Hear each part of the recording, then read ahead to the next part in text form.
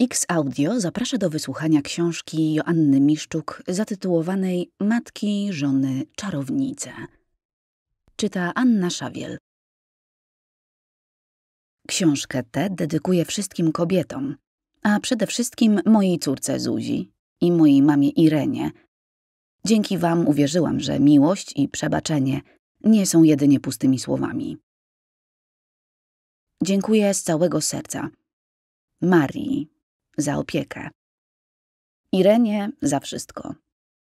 Zuzi za radość i dumę. Bożenie za realną pomoc i wiarę we mnie. Joli za szczerość i ustawienie mnie do pionu. Lili za wiarę w ludzi. Gertrudzie za niezłomność. Zofii za tradycję. Dorin za wiarę w czary. Żanet za śmiech, za złośliwość. Markowi i tacie za opiekę. Wiktorowi za bezkrytyczne wsparcie. Uwe za pytania. Gniewkowi za fakty i inteligencję. Michałowi za zaufanie. Bernwardowi i Martinowi za pozytywną motywację. Barneyowi za święty spokój. Kim za muzykę. Wiele z tych osób proszę o miłość, żadnej o przebaczenie. Serdecznie dziękuję redaktorom i współpracownikom wydawnictwa Pruszyński Media za ich pomoc, profesjonalizm i wiarę w sukces mojej powieści. Pani Annie Derengowskiej i pani Ewie Witan za całą pozytywną energię, którą mnie wspierały, za cenne uwagi i komentarze, dzięki którym ta powieść wygląda tak, jak wygląda. Dziękuję. Od autorki. Cała treść poniższej książki jest jedynie moją fantazją. Niekiedy pojawiają się w niej nazwiska osób znanych z kart historii. Życiorysy, które im przypisuję, są jednak wyłącznie moim wymysłem. Roboczy tytuł mojej powieści brzmiał Czarownice. Nie zapominajmy, że to, co niegdyś określano mianem czarów, dziś nazywamy medycyną alternatywną, bioenergoterapią, hipnozą, telepatią, ziołolecznictwem czy sugestią. Nie chciałam tą powieścią urazić niczyich uczuć religijnych. Moim jedynym zamysłem było opisać losy i uczucia kobiet. Mądrych i silnych kobiet, które powinny odnosić w życiu same sukcesy, a niejednokrotnie były skazane na porażkę jedynie dlatego, że kochały. Asia Wrzesień 2007 roku. Wrocław. Mamo! Ogłuszający wrzask trzech dziecięcych głosików przewalił się przez studnię dźwiękową starej kamienicy przyszewskiej. Jedną z wydzierających się dziewczynek była z pewnością Misia. Jak to jest, że matka w chórze prawie identycznych głosów zawsze rozpozna swoje potomstwo? Mogłam co prawda udawać, że nie rozpoznaję – ale to tylko wyjście doraźne. Prędzej czy później rodzicielki pozostałych latorośli dadzą odzew i moja będzie się darła sama. Wtedy się niestety nie wyprę, że to nie ona. Swoją drogą wyczucie czasu ma niezłe. Zawsze otwiera paszczę, kiedy robi coś naprawdę skomplikowanego albo interesującego. I żeby nie wiem, jak bardzo mnie to coś wciągało, to jej sprawy są ważniejsze. Tematy do przerywników też zawsze ma obłędnie ważne. O co tym razem? Czego sobie życzysz, słoneczko?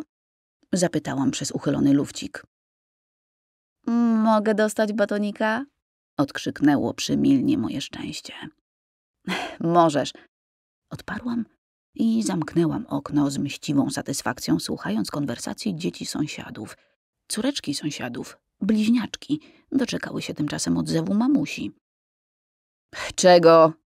Zagrzmiało uprzejmie z sąsiedniego okna. Rzuć batona! Padła rozkazująca odpowiedź. Wiedziałam, że za chwilę usłyszę to samo, w innej formie. Misia jednak musiała zebrać się na odwagę, żeby zadać kolejne pytanie. Może to szkoda, że nie jest tak bezpośrednia jak jej koleżanki? Chociaż dla mnie jej dobre wychowanie i poprawna polszczyzna zawsze były powodem do dumy.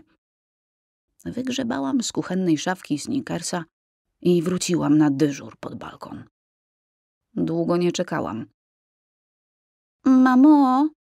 Tym razem rozległo się solo misi. Słucham, córcia. Głupio by było, gdybym zwyczajnie rzuciła w nią batonikiem zamiast odpowiedzi. Czy mogłabyś mi rzucić tego batonika? No nie odpowiem jej, że mogłabym, bo konwersacja będzie się toczyć do nocy. Uważaj, rzucam! Zameldowałam i sniker z dużym łukiem poszybował w dół. Dziękuję, mamusiu. Szczerbata siedmiolatka wyszczerzyła się w stronę naszego balkonu. Zostawiłam uchylone drzwi balkonowe. Kanikuła ziała żarem. Dobrze, że grube, solidne mury starego budownictwa trzymały temperaturę. Wystarczyło wietrzyć dom wrześkie, nieprzespane noce i cały dzień utrzymywał się miły chłodek. Jak ta mała wytrzymuje całe dni w upale na podwórku? Samotne, rozłożyste drzewo przetrwało cudem, otoczone wysokimi kamienicami. Jego cień był jednak zawsze okupowany przez rozplotkowane emerytki. Dzieciaki miały swój kąt z drugiej strony, na małym zielonym placyku, kompletnie nieosłoniętym przed palącym słońcem. Głupota. Dlatego Kamila i jej przyjaciółki najchętniej bawiły się w cieniu tego jednego drzewa, zgodnie dzieląc terytorium ze staruszkami. Podsłuchane rewelacje o zgonach, porodach i inne równie frapujące historie były wielokrotnie tematem przekazów płynących z ust mojej córki. Kamila, Kamisia, Misia. Mój największy i jedyny skarb. Teraz już jedyny sens mojego życia. Moja duma i chluba. Jak ją ustrzec? Jak dać jej dobre i bezpieczne życie? Wiem, że życia za nią nie przeżyje. Wszystkie błędy musi popełnić sama. Tak jak ja popełniłam swoje. Cóż, wzory do naśladowania miałam perfekcyjne. Tylko los mi nogę podłożył. Stawiał na mojej drodze niewłaściwych mężczyzn. Dlaczego omija mnie zwyczajna, wierna i szczęśliwa miłość? Taka, jaką obiecuje pierścionek na moim palcu. Taka, jaką było dane przeżyć babci i mamie. Moje kochane. Maria i Krystyna. Mamusia, Krystyna, szczęściara, dwa razy pokochała i obaj jej mężczyźni, Marek i Kazimierz, byli w stu procentach tej miłości warci. Diament na moim palcu zamigotał kpiąco. Krystyna. Zamyśliłam się. Krystyna. 1963 rok. Wrocław. Krystyna pracowicie rozdzielała igłą posklejane tuszem rzęsy. Kreski wyszły idealnie, jak z żurnala. Zalotka spełniła swoje zadanie i rzęsy miały pół kilometra długości. Tylko ten upiorny tusz się sklejał, dlatego od pięciu minut mordowała się z igłą. Właśnie dziś chciała wyglądać perfekcyjnie. Odbicie w lustrze pokazywało pieczołowicie wykrochmaloną kieckę na stuchalkach, czerwoną jak grzech. Z gramofonu kupionego za pierwszą nauczycielską wypłatę płynęły słowa jakże pasjonującej piosenki. Spostrzegasz mnie, nagle serce ci pęka, dziś właśnie dziś, obym była tak piękna. Tak to dzisiaj zdobędę go na zawsze, pomyślała. Bo wieczorem na bal z tamtą drugą masz przyjść. Zawodziła Violetta Villas ze zdartej płyty.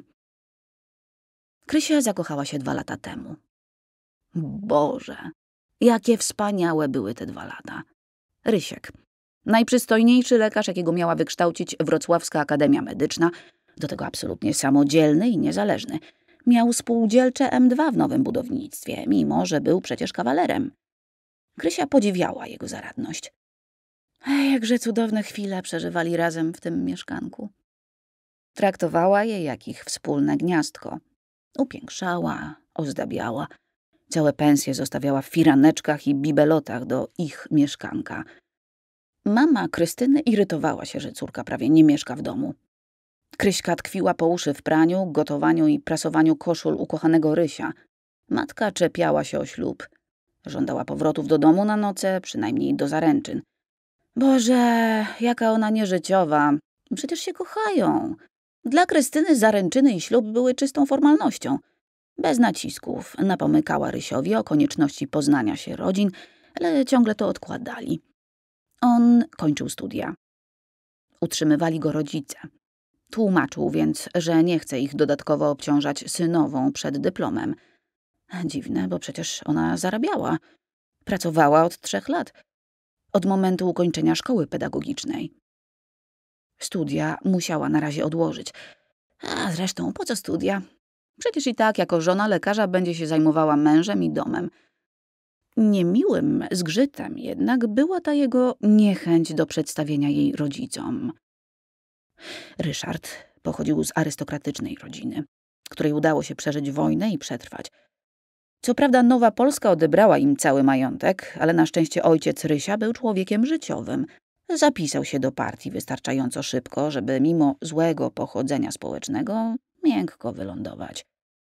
Ordynator szpitala wojewódzkiego, wysoko postawiony członek partii, słowem totalne wyżyny społeczne.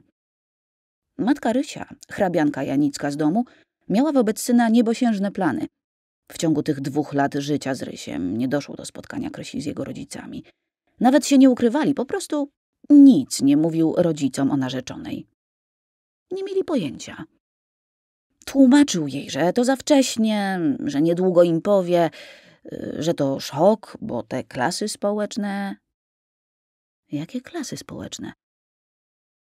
Dopiero po wizycie u rodziców Krystyny, kiedy jej mama Maria zaczęła snuć wspomnienia sprzed wojny, Ryszard przestał się migać.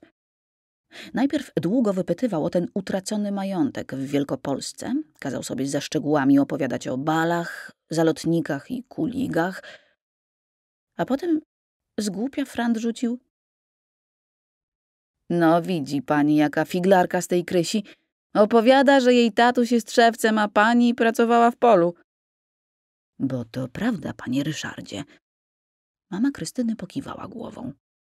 Popełniłam mezalians. Zakochałam się w Stachu i uciekłam do niego. Mama nie wybaczyła mi tego nigdy. Zamieniłam perły i salony na motykę i strzechę. Ależ to był skandal. Roześmiała się perliście. I nie żałowała pani? Zrobił wielkie oczy. Maria spojrzała na niego z zastanowieniem. Mm, zdarzały się chwile, kiedy naprawdę było bardzo ciężko, odpowiedziała po namyśle. Najtrudniej, kiedy mojego męża Niemcy wywieźli na roboty. Proszę sobie wyobrazić rozpieszczoną panienkę z dobrego domu, samą, z dwuletnim dzieckiem, w lichej, zimnej chałupie, bez środków do życia. Nawet tego nędznego poletka nie umiałam obrobić. Co posiałam, zmarniało. Jedyne, co potrafiłam uprawiać, to orchidee. Na szczęście Bóg czuwał nad nami. Bogaty Niemiec szukał nauczycielki dla córki. Zaczepił mnie po mszy w kościele. No, bo przecież we wsi wszyscy wiedzieli, że ten biedak Stach wziął sobie uczoną pannę ze dworu. Niemiecki, francuski i angielski wyniosłam z domu. Poznańska pensja dla panien dała mi, jak na przedwojenne czasy, niezłe wykształcenie. Po wsi poszła fama. Niby wstyd było u Niemca pracować, ale dla mnie wtedy wstyd się nie liczył. Krysia leżała z wysoką gorączką, a ja nawet nie miałam z czego upiec chleba. Dostałam posadę, jedzenie, ciepły pokój dla mnie i Krysi.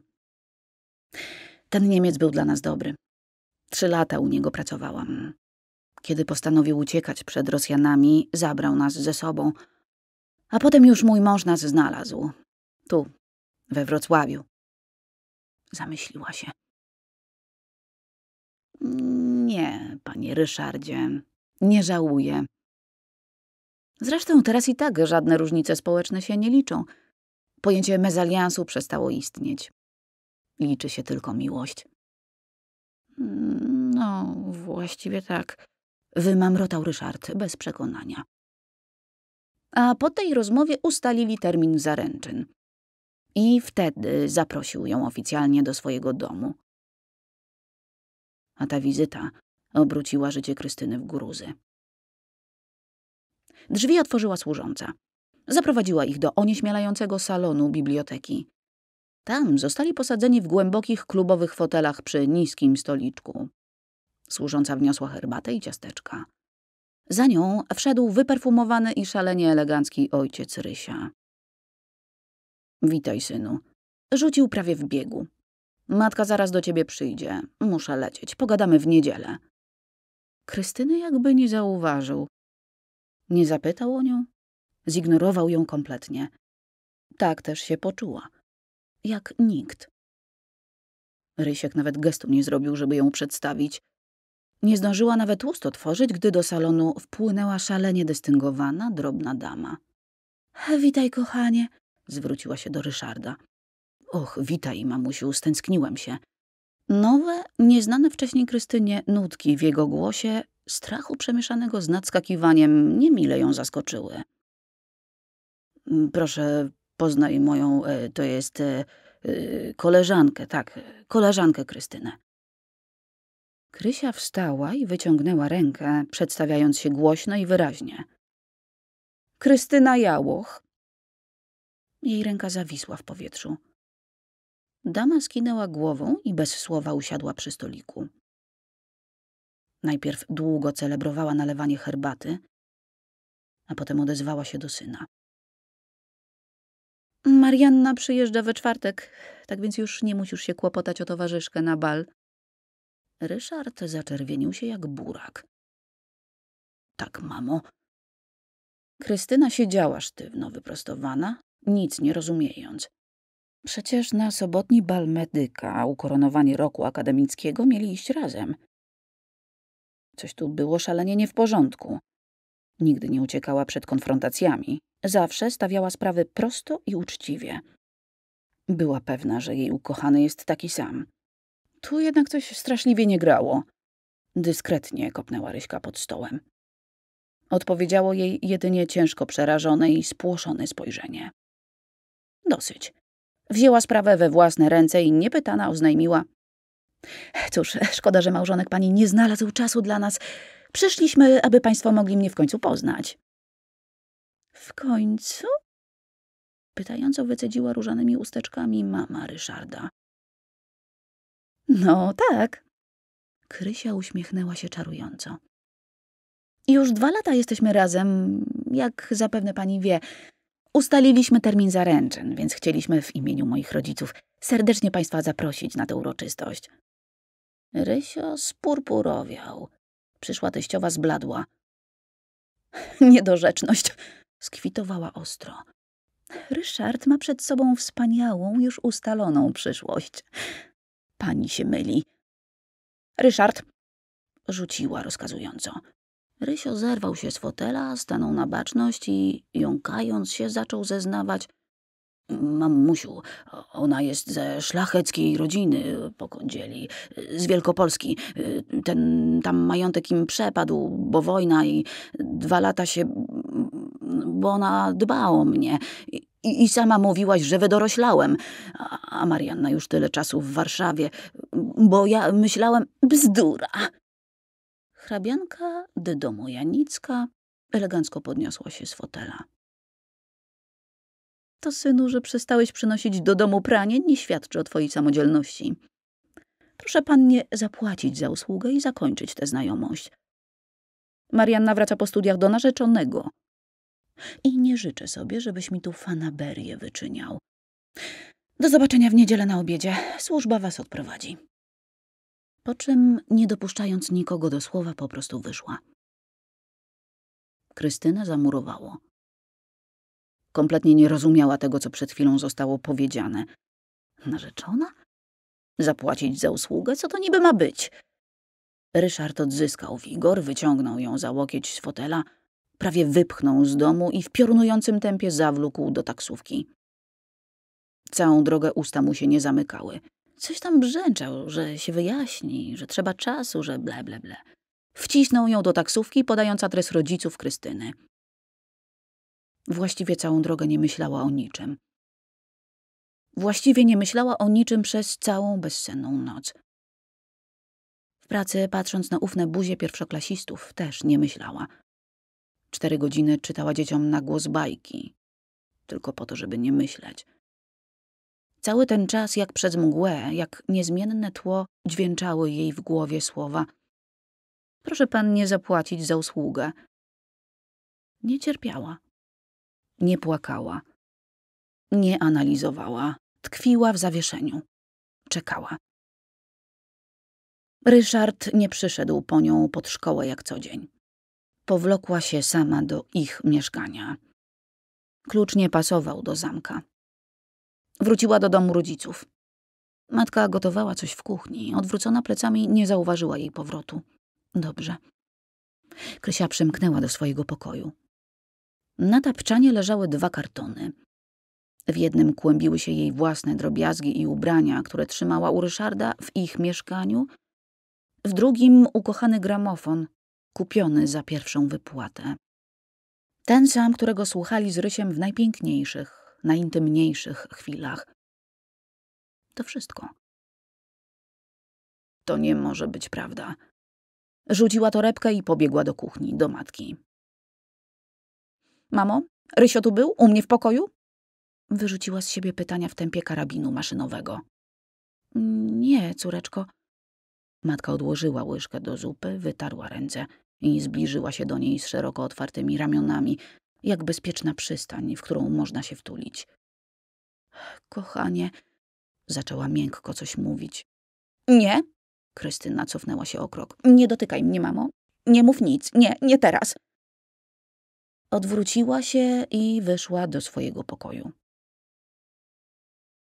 Kolejna noc. Bez snu, bez łez, bez myśli. O szóstej rano Krystyna wyszła z domu, nie budząc matki. Poszła do przychodni. Zwolnienie dostała bez problemu. Na swoje płuca po przybytych chorobach zawsze mogła liczyć. Wystarczyło jedynie poprosić o L4 i już je miała. Powolutku otwierały się wszystkie szufladki w mózgu. I te odpowiedzialne za myślenie konstruktywne, i te przechowujące wspomnienia. Zespołowa praca komórek mózgowych, które po dwóch dniach bezczynności zechciały się wreszcie uaktywnić, dała efekty. Krysia wróciła do domu. Ojciec już wyszedł do pracy. Usiadły z mamą przy kuchennym stole, zrobiły sobie herbatę. Mamo? Zapytała bardzo spokojnie, z suchymi oczami. Kto przyniósł moje rzeczy? Marek, córeczko. Matka pogładziła ją spracowaną dłonią po policzku. Marek to dobry chłopak, lojalny i przyzwoity. Nic nie mówił, prosił tylko, żeby ci to oddać. Porozmawialiśmy chwilę przy herbacie. Chyba był strasznie wściekły, bo mu się wyrwało, że żeby nie ty, bo ten bałwan jest świnia. Niewiele z tego rozumiałam, ale chyba ta świnia i bałwan to Ryszard. Zgadłam? Krystyna milcząco skinęła głową. Mamo, nie chcę o tym rozmawiać. Nie dziś, dobrze? Dobrze, kochanie. Maria napiła się herbaty. Marek powiedział, że jakbyś czegokolwiek potrzebowała, to on siedzi do niedzieli w bibliotece, bo uczy się do egzaminów. Posiedziały w milczeniu w ciepłej, przytulnej kuchni. Kiedy mama wyszła na zakupy, Krysia nastawiła sobie płytę z ukochaną koterbską i zaczęła rozmyślać. Rzeczywiście Rysio okazał się świnią. Bez słowa się od niej odciął. Tchórz. Ale przecież była pewna, że ją kocha. Może go te zdegenerowane, arystokratyczne elementy zmuszają do tamtych zaręczyn. Gdyby chciał się ożenić z tą całą Marianną, to przecież nie byłoby dwóch ubiegłych cudownych lat. Na pewno można wszystko naprawić. Odzyskać Rysia i swoje życie.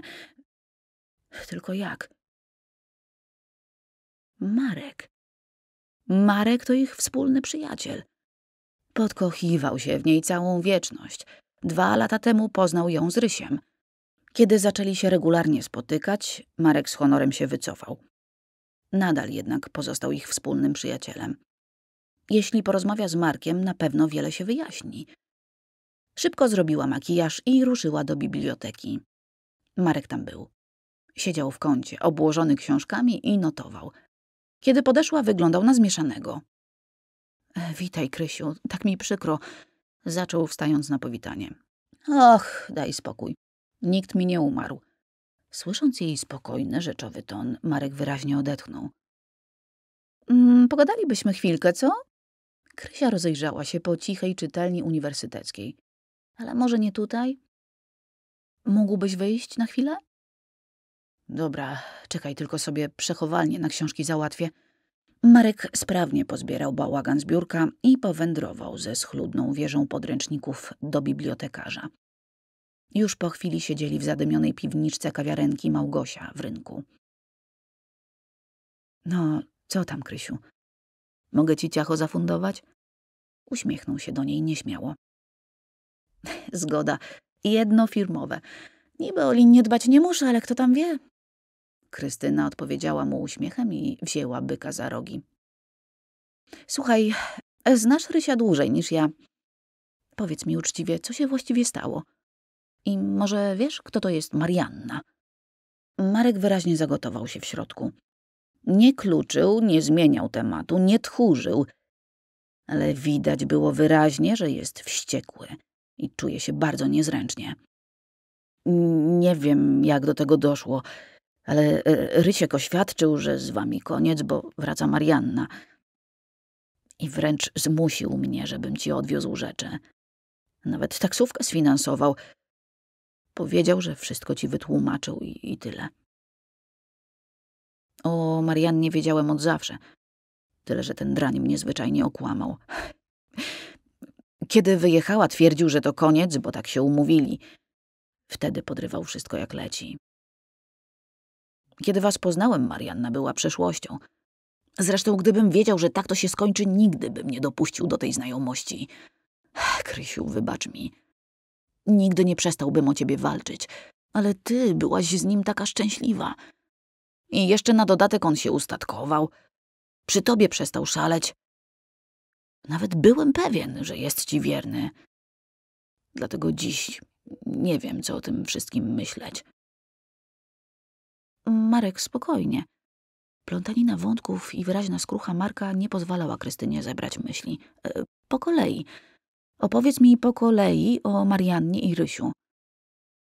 No dobra, po kolei. To posłuchaj. Opowieść Marka była prosta i banalna. Otóż Ryszard, zaręczony prawie od kołyski z równie jak on arystokratyczną Marianną, po ukończeniu szkoły średniej zdecydował się zostać i studiować we Wrocławiu. Marianna natomiast, absolwentka liceum plastycznego, postanowiła wyjechać do Warszawy na studia plastyczne. Oboje dostali się gdzie chcieli. On dzięki protekcji, Marianna ze względu na wielki talent, którego nawet niewłaściwe pochodzenie nie mogło zniwelować. Prawdą jest, że kochali się bardzo. Prawdą jest, że Marianna jest nieciekawa. Za to ma wielki talent malarski, wspaniałą rodzinę i pełną akceptację rodziców Rysia. I rzeczywiście byli zaręczeni. Uroczystość odbyła się u rodziców Marianny, profesorstwa górskich. A narzeczeni otrzymali od jego rodziców w prezencie zaręczynowym mieszkanie spółdzielcze zarejestrowane na Ryszarda. Marek jako człowiek z gminu nie został zaproszony, ale wie na pewno, że tak było. Potem Marianna wyjechała na studia, Ryszard rzucił się w wir życia towarzyskiego i zmieniał panny jak rękawiczki. Najlepszemu przyjacielowi wmówił zerwanie zaręczyn. Z narzeczoną spotykał się w nadmorskich kurortach latem i wszystko było świetnie. Do czasu. Do momentu, kiedy Marek, ciężki idiota, poznał dziewczynę swoich marzeń, Krystynę, z Rysiem. Wtedy przyjaciel, mimo że wiedział o wielkiej miłości Marka, poderwał mu wybrankę. I nawet się z tego powodu pobili. Ale kiedy po dwóch miesiącach kumpel nadal był z Krystyną, Marek uwierzył w jego uczciwe zamiary wobec niej i stara przyjaźń wróciła. Trwała do wczoraj. Wczoraj bowiem się okazało, że Ryszard potulnie nadal jest z Marianną. A Krystyna owszem, miła, kochana, pomocna, ale no cóż, kompletnie nie na miejscu. Marek jest za stary, żeby temu bałwanowi mordę obijać, a Krysi mu strasznie żal i teraz ją przeprasza. Krystyna przetrawiła jasne i klarowne informacje Marka. Nadal nie dopuszczała do siebie myśli, że nie ma już Ryszarda, nie ma miłości, nie będzie wymarzonego życia we dwoje w gniazdku, które dla nich tak szykowała. Całkowicie zignorowała deklarację uczuć Marka, który jak zbity pies czekał na odpowiedź. Dla niej ważne było tylko to, że Ryszard ją na pewno wciąż kocha. Jedyna przeszkoda to rodzice tyranii, którzy zaaranżowali arystokratyczne małżeństwo. A przecież nawet matka mówiła, że mezaliansów już nie ma. Liczy się jedynie miłość. I ona wie, że Rysio ją kocha. Tylko trzeba mu o tym przypomnieć. Poza tym Marek mówi, że Marianna nieciekawa. Maryś? zapytała. A ta Marianna jak wygląda? Mm, normalnie, odparł zdziwiony. Wysoka, chuda blondynka. Krótkie włosy, jakieś tam oczy, płaska trochę. Taka wiesz, dla mnie nudna. No, braku wiary w siebie to Krysi nie brakowało. Przecież, niestety, nie na jej inteligencję leciały te tłumy chłopaków. Właściwie jedyny, który z nią rozmawiał jak z człowiekiem myślącym, to Marek. Reszta z ukochanym na czele tylko prawiła komplementy. Rysio aż piał z zachwytu nad jej długimi, niesfornymi, rudymi włosami. Tyle razy mówił, że jest jego piękną czarownicą. Ruda, zielonooka, z piękną figurą i ponętnym biustem. Miała to szczęście, że jak wszystkie kobiety w jej rodzinie wyglądała bardzo młodo. Mama, dziś czterdziestolatka, wyglądała na jej starszą siostrę. Obie zgrabne, niewysokie i pełne uroku. Gdzież do niej jakiejś tam wyblakłej, wychudłej blondynce? Powolutku zaczął jej się rysować misterny plan odzyskania Ryszarda. Mareczku, wyszeptała przymilnie, zrobiłbyś coś dla mnie? Nadzieja w jego głosie jakoś umknęła Krystynie. Krysiu, przecież wiesz, że ja dla ciebie. No to świetnie. Bo widzisz, ja bardzo chcę iść na bal medyka. Już mam kieckę i w ogóle. Tylko chyba z Ryśkiem już nie pójdę. Roześmiała się nerwowo. Nie wybierałem się, bo to bal dla snobów, odpowiedział z wahaniem Marek. Ale jeżeli tobie tak bardzo zależy, to z przyjemnością cię zapraszam. Może znów zaczniemy razem wychodzić, tak jak dawniej? Ja wiem, Krysiu, że nie mogę na nic. Świetnie. Przerwała mu w połowie zdania, zaprzątnięta swoim zamiarem. Y, to ja muszę lecieć. Dzięki za ciacho. Czekam w sobotę. Pa. Machnęła ręką, porwała torebkę i już jej nie było. Marek zapalił papierosa i się zamyślił. Nadal nie wiedział, co o tym sądzić. Krystyna była taka spokojna. Może Rysiek nie kłamał. Może faktycznie rozstali się w zgodzie. Tylko dlaczego sam nie odwiózł jej rzeczy? I czemu tak wypytywała o Mariannę? Jeśli się rozstali w zgodzie, to powinna o tamtej wszystko wiedzieć. Strasznie to trudne. Przez dwa lata, które dla Marka były pasmem cierpień, ci dwoje sprawiali wrażenie zakochanych. Usunął się, zszedł im z drogi. Za bardzo kochał Krysię, żeby jej komplikować życie. Może niesłusznie. Dziś w jej oczach nie dostrzegł śladu łez, cienia rozpaczy, a po prawdziwej miłości chyba powinno się rozpaczać. Nieważne, wszystko nieważne.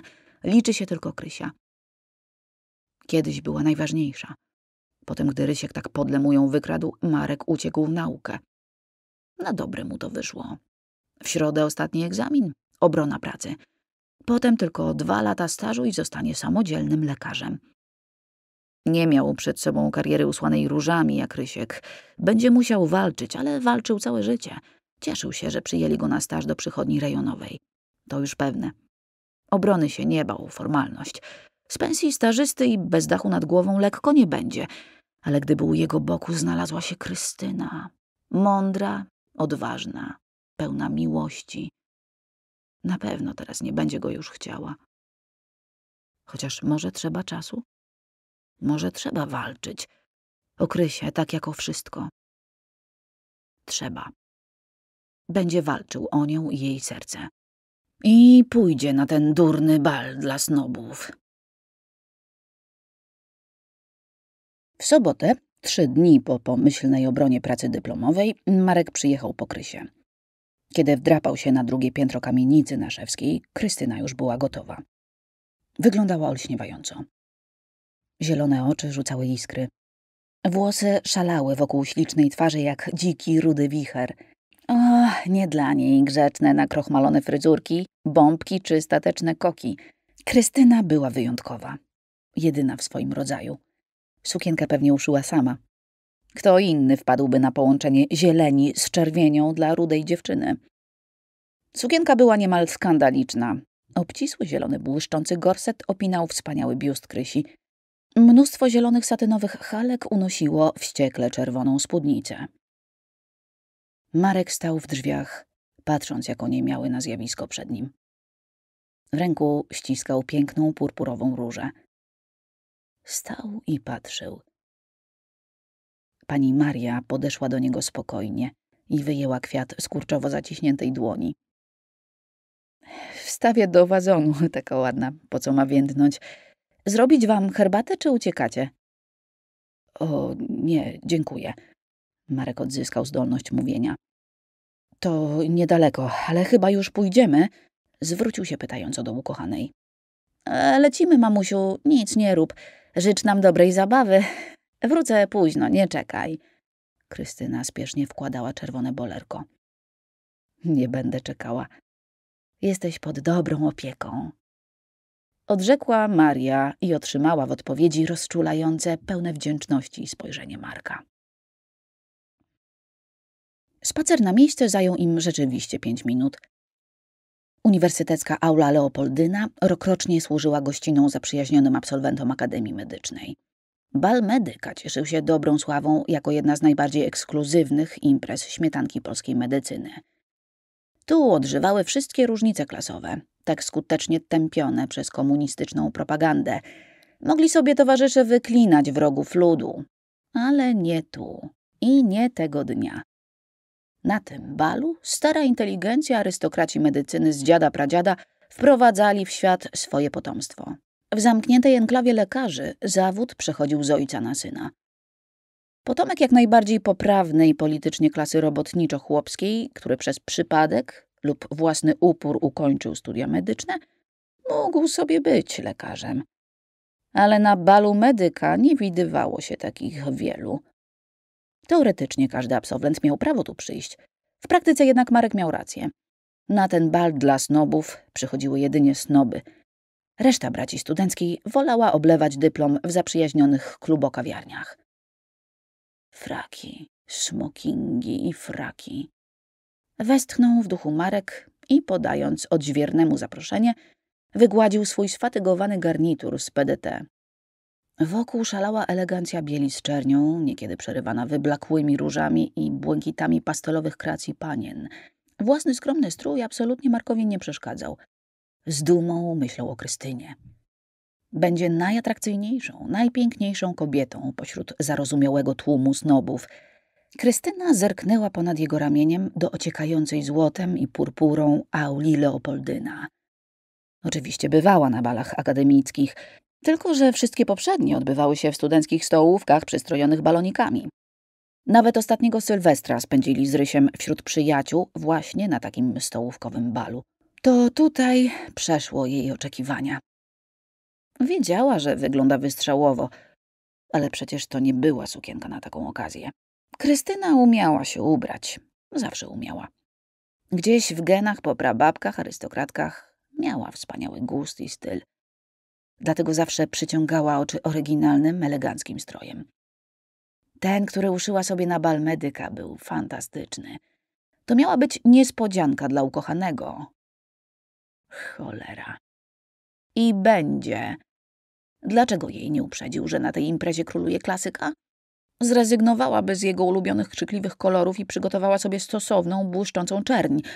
No i poszłaby do fryzjera. A tak? Cholera i jeszcze raz cholera. Dobrze, nie należy się przejmować. Nie przyszła tu dla tych wszystkich ludzi. Chciała odzyskać Rysia, a dla niego ta sukienka jest jak najbardziej właściwa. Przynajmniej będzie się zdecydowanie wyróżniać przy wyblakłej i nudnej Mariannie.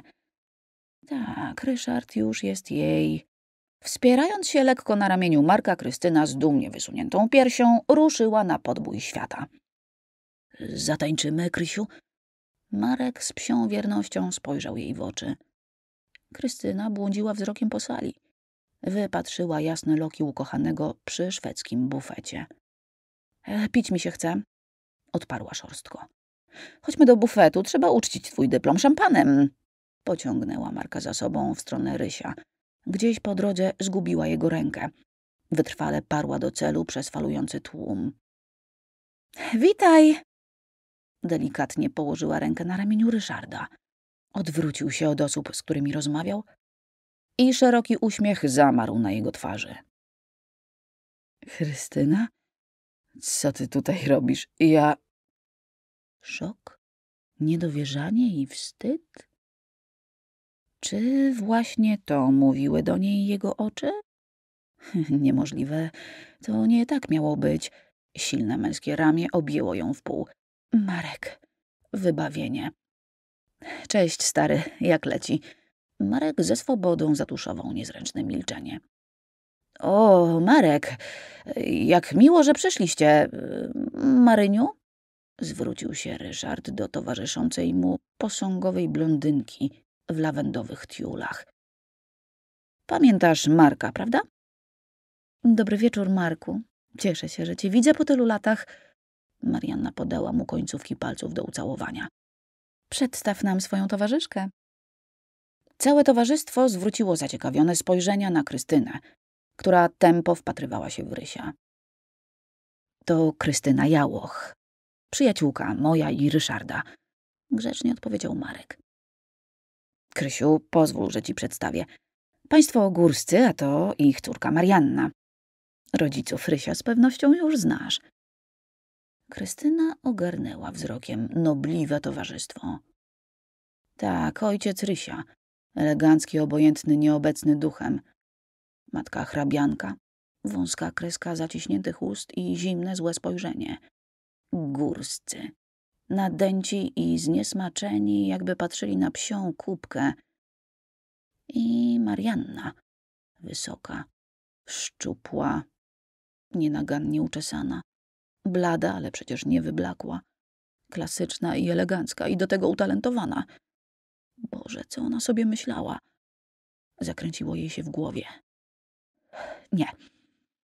Nie może się poddawać. Musi porozmawiać z Rysiem. Tymczasem ten desperacko podtrzymywał konwersację. Tak, właśnie, Krystyna. Przyjaciółka Marka, podkreślił. Orkiestra zagrała upojne tango. Krysia, usłyszawszy swoje imię z ust ukochanego, zareagowała natychmiast. Dziękuję, chętnie z tobą zatańczę! Wykrzyknęła, pociągając przerażonego Ryszarda na parkiet. Marek obejrzał się za nią ze zdumieniem. Yy, Marianno? Zapytał z galanterią. Czy masz ochotę na taniec? Yy, wybacz. Marianna, obrzuciwszy czujnym spojrzeniem jego garnitur, podała tyły. Ale muszę się odświeżyć. Po czym oddaliła się godnie w towarzystwie matki i przyszłej teściowej. Krystyna wtuliła się w ramiona Rysia. Kochany, kochany, wyszeptała mu do ucha. Po co to wszystko? Przecież wiesz, że ci wybaczę. Rozumiem cię jak nikt inny na świecie. Oni cię zmuszają, ale nie bój się, ja cię ochronię. Przecież wiem, że mnie kochasz. Ryszard w panice odprowadził wzrokiem narzeczoną i matkę. Ależ tak, Krysiu, bardzo cię kocham. Jednak zrozum, nie mogę postąpić wbrew rodzinie. Możemy się oczywiście spotykać. Ale pomyśl, jeśli się nie ożenię z Marianną, to wszystko przepadnie. Mieszkanie, dochody, kariera, wszystko. Nie mogę tego tak odrzucić. Nie kocham Marianny, tylko ciebie. Wiesz przecież, moja ty czarownico. Rysiu, po co nam ich pieniądze? Nie bój się, ja przecież zarabiam. Poradzimy sobie. Potem skończysz staż i dostaniesz posadę. Wytrwam do tego czasu. Krystyna, przecież to głupota. Bądź mądra. Po co z tego wszystkiego rezygnować? Kocham tylko ciebie, a to ci nie wystarczy?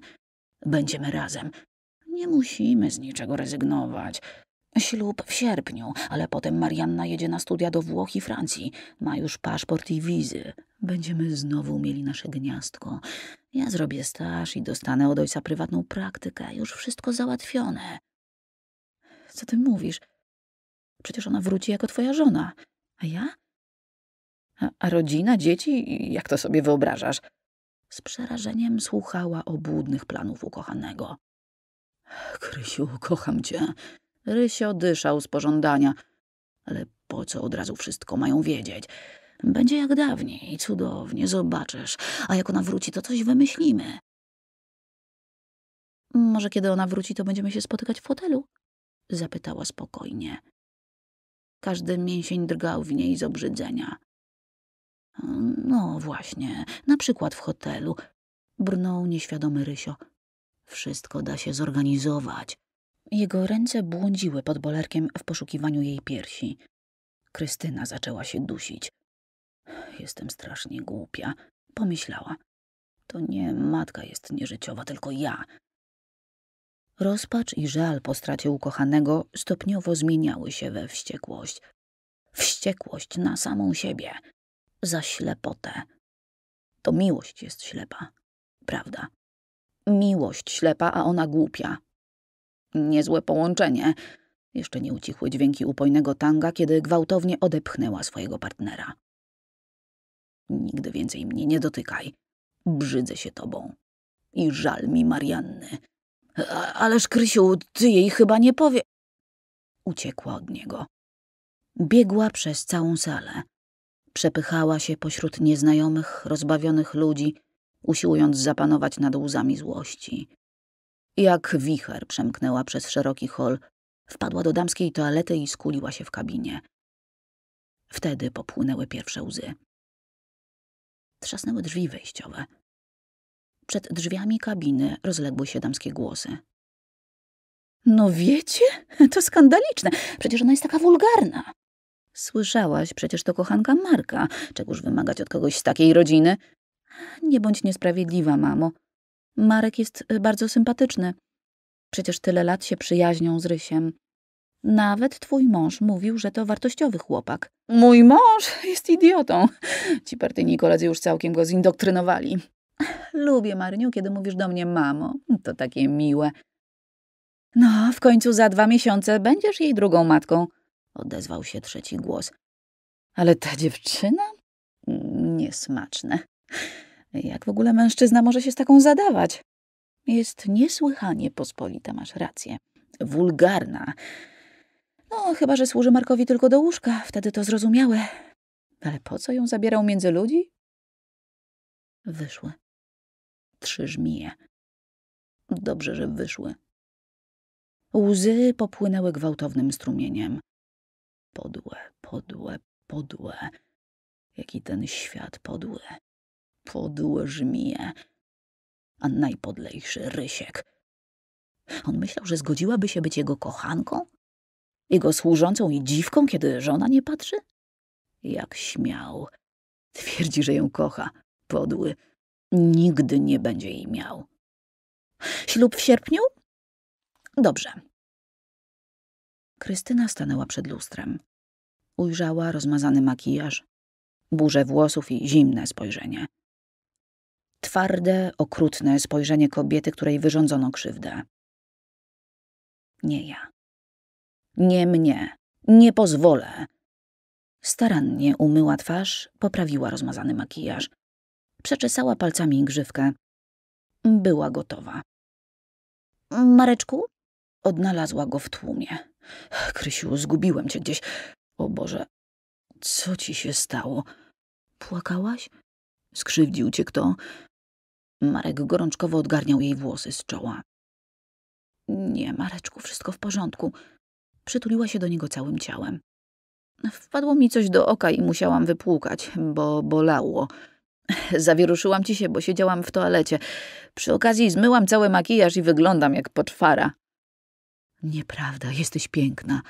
Marek nieśmiało oddał uścisk. Ale czuję się niepięknie. I na dodatek miałeś rację, to bal dla snobów. Chodźmy stąd. Marek uśmiechnął się z czułością. Jego Krysia. Za tę chwilę, kiedy mógł trzymać ukochaną w objęciach, oddałby całe swoje życie. Tak, na pewno będzie o nią walczył. Co z tego, że była z Rysiem? To chwilowe zauroczenie. Kocha ją. Taki drobiazg tego nie zniszczy. Będzie jego żoną i z czasem też go pokocha. Już on się o to postara. Dobrze, Krysiu. Chodźmy, odwiozę cię do domu. Mm, taki ładny wieczór. Krystyna miała swoje plany. Pospacerujmy. Dawno nie gadaliśmy, chcesz? W końcu trzeba jakoś uczcić ten twój dyplom. Oczywiście, że chcę. Marek był zachwycony. Wszystko szło tak, jakby to sobie wymarzył. Możemy posiedzieć w Małgosi, jeśli chcesz. Zawsze nam się tak cudownie gadało. Poszli. Pierwsze wino, drugie, trzecie. Migoczący blask świec i migoczące oczy Krystyny. Opowiadał jej o wszystkim. O pediatrii, wymarzonej pracy, o swoich pasjach, rodzinie. Słuchał o śmiesznych przygodach pierwszoklasistów. Słuchał o planach na życie, takich poważnych, uczciwych jak jego własne. Trzymał Krystynę za rękę. Utonął w jej zielonych oczach. Nawet nie wiedział kiedy objęci w pół szli przez rynek w stronę jego stacji. Wszystkie kafejki już dawno były pozamykane, kiedy Krystyna powiedziała Nie chcę jeszcze się z tobą rozstawać. Chodźmy do ciebie. Robi się chłodno. Otulił ją wyświechtaną marynarką i jak królową wprowadził na poddasze, do wynajmowanego pokoiku. Tulił ją nieśmiało, całując wspaniałe włosy pachnące czerwcowym wieczorem. Oddała pocałunek, potem drugi, trzeci. Obudził się pierwszy. Jego pokój wypchany po brzegi książkami zawsze rano wydawał się brzydki, ale dziś nagle wypiękniał. Plama rudych włosów, rozświetlonych pierwszymi promieniami słońca, była najpiękniejszą ozdobą. Marek zaczął całować ją po plecach. Krysiu, kochanie. Przeciągnęła się i mruknęła rozkosznie. Krysiu, wstawaj, twoja mama mnie zabije. A, dzień dobry, ziewnęła szeroko. No, chyba masz rację, zabiją cię. Jeszcze nigdy nie nocowałam poza domem. No, a Rysiek? To durne pytanie wymknęło mu się naprawdę niechcący. Jak śmiesz. Krystyna stała się uosobieniem furii. Jak możesz mi w tej chwili wypominać Ryśka? Co to ma być? Uważasz mnie za dziwkę czy puchar przychodni? Jestem tu nie dlatego, że nie ma Ryśka. Tylko dlatego, że chciałam być z tobą. Rozpłakała się żałośnie. Krysiu, skarbie, przepraszam. Kajał się Marek. Nie chciałem, wybacz mi. Rysiek się nie liczy, nigdy nie będziemy o nim rozmawiać. Przecież wiesz, że zawsze chciałem być z tobą. To się stało tak nagle, ale uwierz mi, kochana, proszę, nie płacz. Już dwa lata temu chciałem cię błagać. Tyle lat jestem twoim cieniem. Krysia, Krysia, proszę, ja ukląkł przed rozszlochaną dziewczyną. Krysiu, błagam. Zostań moją żoną. Wiem, że to takie nagłe, ale ja tego pragnę od kilku lat. Będę o ciebie dbał i kochał cię do końca życia. Proszę, nie mów nie.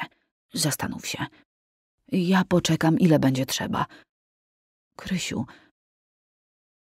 Mokre od łez rzęsy uniosły się, ukazując poważne, pełne satysfakcji zielone oczy. Nie musisz czekać, odpowiedziała spokojnie. Wyjdę za ciebie. W lipcu. Marek zastygł ze zdumienia na klęczkach. Krystyna wstała z łóżka i zaczęła się szybko ubierać. Mówiła głośno i dobitnie. Przyjdź dzisiaj o osiemnastej z pierścionkiem. Uprzedzę rodziców. W urzędzie zarejestrujemy się w poniedziałek.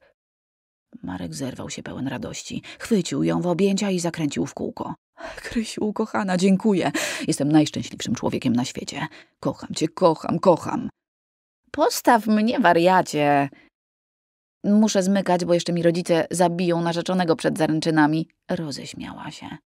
Ale, Krysiu, Marek wreszcie uwierzył, że to nie sen. Moja matka.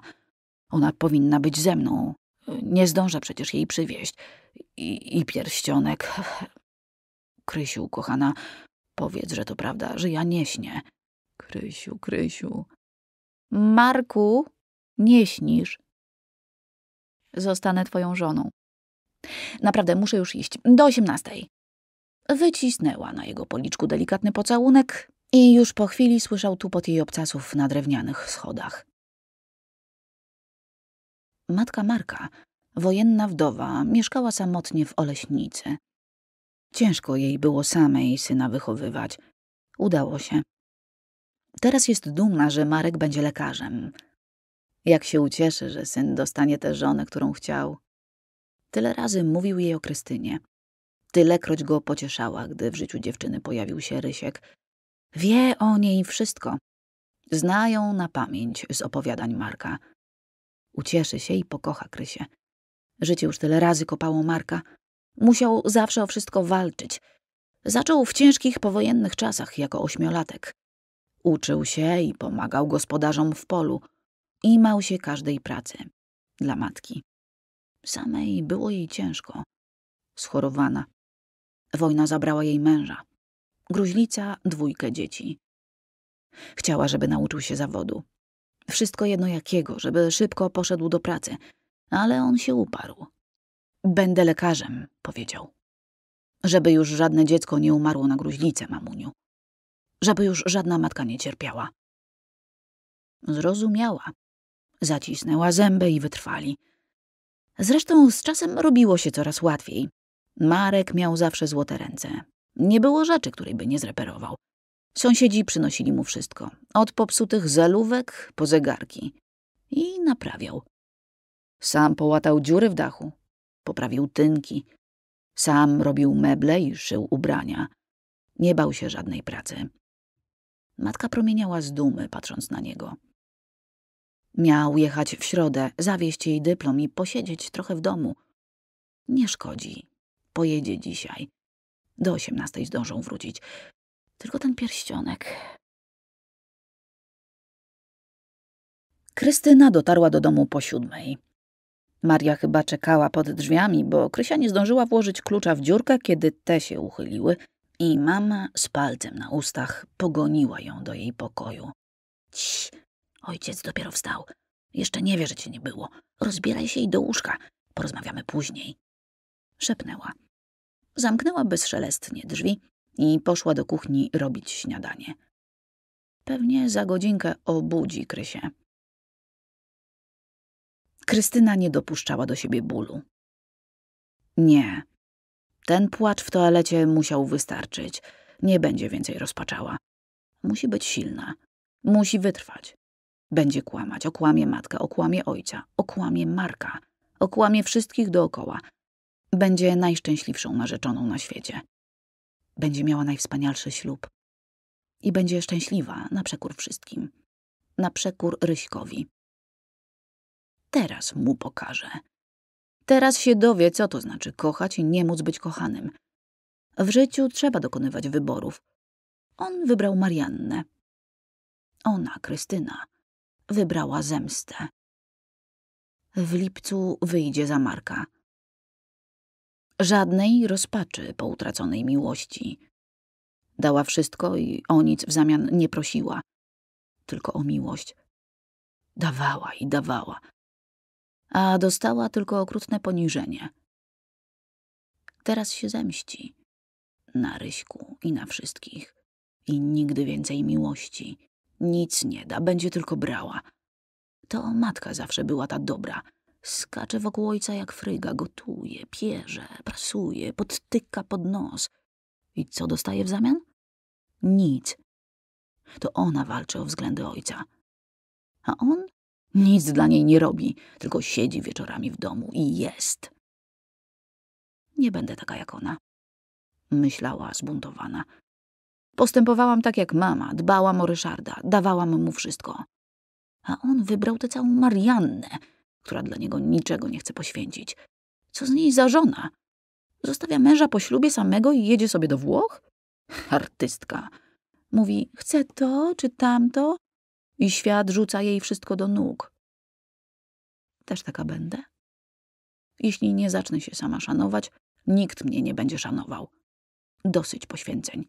Koniec z miłością. Matka nie miała racji. Nie wolno się poświęcać dla miłości. Ojciec, kompletnie niezorientowany w życiu uczuciowym Krystyny, trochę kręcił nosem, że przyszły zięć ma przyjść tak znienacka. Matka jednak szybko rozwiała jego wątpliwości, spokojnie tłumacząc, że zna przecież Marka od lat jako kolegę Krysi, a skoro młodzi zdecydowali się na zaręczyny na tym wspaniałym wczorajszym balu, to chyba i lepiej, że od razu chcą się szczęściem podzielić z rodzicami. A Marek jest dobrym człowiekiem, i nie ma co wybrzydzać. Tak powiedziała, z kamienną miną i ojciec się odczepił. Ale matka niestety nie. Dorwała Krysię po obiedzie, kiedy ojciec uciął sobie tradycyjną niedzielną drzemkę. Córeczko, co ty robisz? Załamała ręce.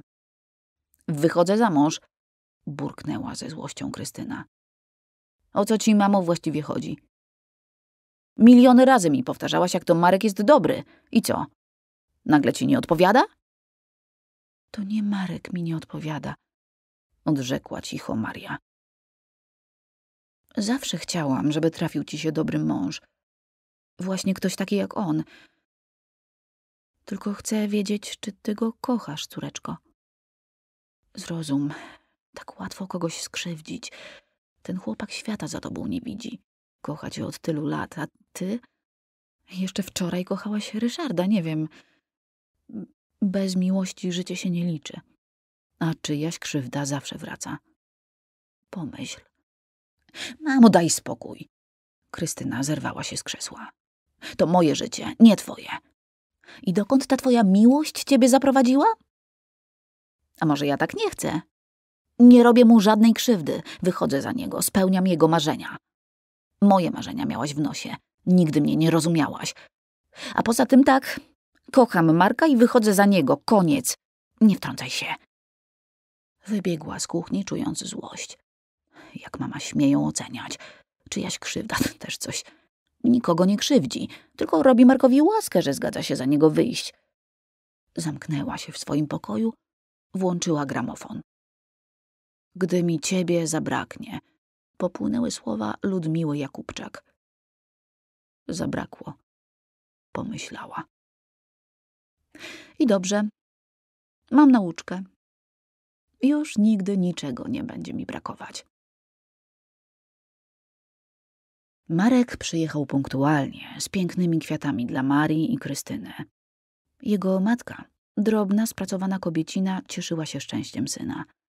Przywitała się grzecznie z rodzicami Krysi. Maria patrzyła na nią z zastanowieniem i już chciała coś powiedzieć, kiedy mama Marka objęła dziewczynę jak ukochaną córkę. Była tak dobra, tak szczera, że Krysi przez chwilę zrobiło się nieswojo. Szybko odsunęła to niemiłe uczucie. Na pięknym, mahoniowym stole pojawiły się szklanki z herbatą i ciasto. Miła rozmowa w pogodnej atmosferze odsunęła wyrzuty sumienia. Maria była jakaś dziwnie cicha. Krystyna pomyślała, że to po nieprzyjemnej poobiedniej rozmowie. A potem nadszedł ten wielki moment. Marek chrząknął, wstał i skłonił się przed jej rodzicami. Pani Mario, panie Stanisławie, chciałbym prosić was o zgodę i błogosławieństwo. Tu ukląkł przed Krystyną. Bo właśnie pragnę prosić waszą córkę o rękę. Krysiu, zwrócił się do niej. Od lat cię kocham, wiesz o tym. Wyciągnął z kieszeni jakiś mały przedmiot. Ten pierścionek jest w mojej rodzinie od niedawna. To jedna z najcenniejszych rzeczy, jakie mamy. To namacalny dowód, jak wielka potrafi być miłość. Bo należał do kobiety, która poświęciła wszystko dla miłości. Przyjmij go, proszę, jako dowód moich uczuć. Proszę, zostań moją żoną a ja obiecuję ci, że będziesz moją królową. Niewiele mogę ci dziś ofiarować, ale całe moje serce, cała moja przyszłość leży w twoich rękach. Krysiu, czy wyjdziesz za mnie? Krystyna ze zdumieniem patrzyła na rozmigotane cudo na swoim palcu. Boże, czy ten kamień to diament? Był olbrzymi, otoczony gwiaździstymi szafirami. Wspaniały. Jablonek chyba nie może aż tak błyszczeć. Jaki piękny, westchnęła. Tak, Marku, oczywiście zostanę twoją żoną. Dodała szybko. Wszyscy oprócz niej mieli łzy w oczach. Marek wstał. Uroczyście pocałował ją w czoło. Uścisnął rękę ojca i pocałował dłoń matki. Jego mama przytuliła Krystynę i powiedziała z radością: Witaj, córuchno, w rodzinie. Usiedli przy stole. Krystyna z podziwem przyglądała się niezwykłemu pierścionkowi na swojej dłoni. Marku, skąd wziąłeś takie cudo? Marek uśmiechnął się do matki. Przez ułamek sekundy przemknęła mu przez głowę niezwykła myśl. Tak, ten pierścionek ma w sobie tyle miłości. Jedyne zabezpieczenie jego mamy na starość. Jedyna rzecz, która dawała jej poczucie bezpieczeństwa. Bez słowa i bez żalu oddała mu go dziś rano dla ukochanej Krysi. Zrobiła to z miłości. A dramatyczna historia tego szlachetnego okruchu węgla, wtopionego w złotą obrączkę, to w końcu też dzieje miłości. Nie. Niech matka opowie tę dziwną historię. Jest taka skromna, nieśmiała. Niech choć ta opowieść sprawi, że to ona znajdzie się w centrum uwagi. Byłem, Krysiu, sześcioletnim dzieciakiem, kiedy ten pierścionek trafił w nasze ręce. Zwrócił się do narzeczonej. Ale lepiej niech mama o tym opowie. I drobniutka, siwa, cicha kobiecina zaczęła mówić. To było w lutym czterdziestego piątego. Mój mąż już nie żył. Zabili go w lesie. Dopiero co się dowiedziałam. Marek był mały, a ja byłam wściekła na Niemców, na kolaborantów, na cały świat. Niemcy uciekali. Z całej generalnej guberni uciekali na Śląsk i do Saksonii. Bali się nas, dranie. W ciężarówkach, końmi. Różnie. Z ukradzionymi obrazami, biżuterią, całym majątkiem. Durnie zabierali wszystko oprócz jedzenia – jeszcze byli panami, ale ludzie już się buntowali. Chłopcy z lasu napadali ich po drodze. A my chowaliśmy wszystko, co mieliśmy. Nawet jak ktoś miał rzepę czy ziemniaki, nie dawał draniom. Niektórzy z sąsiadów za taką odmowę stracili życie. Ja musiałam żyć. Miałam Marka. Bałam się, ale samotnej kobiecinie z dzieckiem łatwo wierzyli, że nic nie mam – dopóki nie przyjechał tamten szkop. Uciekł spod Poznania z dwiema małymi dziewczynkami i młodą kobietą, Polką. Przylazł bez niczego, bez jedzenia, bez walizek i wyrzucił mnie z chałupy. Nie pytał. Zatrzymał się jak na swoim. Wiedziałam, że jedzenia nie znajdą, bo dobrze wszystko schowałam dla Mareczka – ale tej szkopskiej dziwce nie darowałam. Doniosłam na nią chłopakom z lasu. Złość mną kierowała i zemsta. Źle zrobiłam, ale o tym dowiedziałam się później. Przyszli w nocy i go zabili. Dzieci, znaczy te dwie dziewczynki, oszczędzili. A kobietę to były straszne czasy. Wtedy myślałam, dobrze jej tak. Przeżyła. Pobili ją strasznie. Ogolili włosy. Zamiast twarzy miała krwawą maskę, ale przeżyła. Mieli zabrać ją i dziewczynki i porzucić na drodze, żeby na mnie podejrzenie nie padło w razie czego. Jej i tak śmierć była pisana. A te niemieckie dzieci pewnie by któryś z uciekinierów przygarnął. Tak miało być. Jednak tego samego dnia przyszła do mnie starsza dziewczynka. Trafiła z powrotem. Odnalazła drogę, nie wiem jak. Po niemiecku tylko mówiła, ale zrozumiałam. Zaprowadziła mnie pod las. Wojna zabrała wielu ludzi.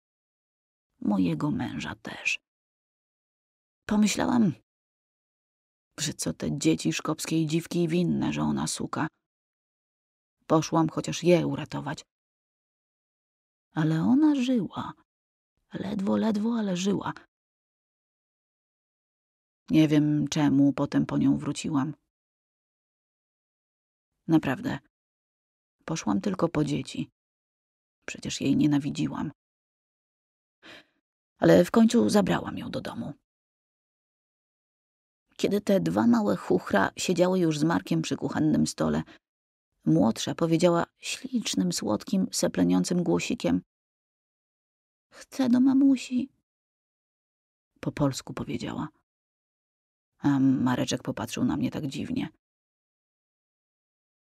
Byli w tym samym wieku, mniej więcej. Położyłam dzieciaki spać. Wzięłam sanki, takie do wożenia ziemniaków, ze skrzynią drewnianą. No i pojechałam po trupa. Jak myślałam. Żeby dzieci chociaż wiedziały, gdzie matki grób mają. Jednak ona żyła. Po tygodniu doszła do siebie. Była sina, zielona, łysa. Wyglądała jak potwór. Ale mogła chodzić i mówić. Nie, nie tłumaczyła się. Powiedziała tylko, że starsza dziewczynka to Niemka, a młodsza to jej córka. Zabrała obie i poszła w stronę Wrocławia. Odeszła nocą. Z jednym dzieckiem uwiązanym jak tobołek na plecach. Drugie prowadziła za rękę. Dopiero na zajutrz to znalazłam. Pierścionek, zawinięty w list, napisany na kawałku koszuliny. Nie wiem czym, chyba krwią. W moim domu nie było ani atramentu, ani papieru. List wyblakł, zginął mi gdzieś. Minęło ponad dwadzieścia lat, ale do dziś pamiętam słowo w słowo to, co było napisane pięknym, pańskim charakterem pisma na kawałku płótna. Zachowaj ten pierścionek. To prawdziwy diament. To nie szaber. Jest w mojej rodzinie od pokoleń. Przechodził z matki na córkę jako dowód miłości i przebaczenia. Teraz należy się tobie. Za to, że moja córka pozna matczyną miłość. Uratowałaś życie moje i mojej córki. Dziękuję ci i wybaczam. Nie znam historii tej kobiety ani historii pierścionka. Nie wiem, czy była niemiecką dziwką, czy podły los ją wplątał w tarapaty. Wiem tylko, że wiedziała o tym, że to ja nasłałam na nią leśnych i wybaczyła.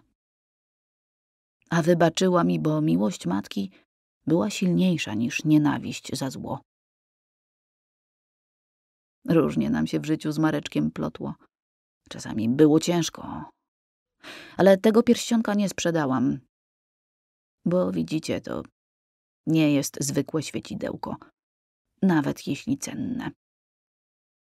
Dla mnie to symbol prawdziwej miłości. Może jestem głupia, stara i naiwna, ale jak dziś Mareczek przyjechał po mnie i powiedział, że Krysia go zechciała, to od razu wiedziałam, że trzymam ten pierścionek tyle chudych lat właśnie dla niej dla jego wielkiej, prawdziwej miłości. Staruszka zakończyła swoje opowiadanie i umilkła. W pokoju zrobiło się cicho. Wszyscy siedzieli zamyśleni. Marek patrzył z miłością na swoją Krysię. Jego matka spoglądała na oboje błyszczącym wzrokiem. Ojciec, kiwając się na krześle, popijał herbatę. Krystyna bez słowa wpatrywała się w swoje dłonie – a Maria? Maria siedziała nieruchomo z przymkniętymi oczami. Jej umysł wypełniała jedna myśl. Nie poznała mnie. Dzięki ci, Boże, nie poznała mnie. Uniosła powieki i spojrzała kątem oka na zaręczynowy pierścionek, błyszczący na palcu jej córki. Nie musiała się przyglądać. Znała go od dawna. Wielki brylant otoczony plejadą gwieździstych szafirów. Jedyny na świecie. Niepowtarzalny. Jej dziedzictwo. Jej przekleństwo. Wrócił.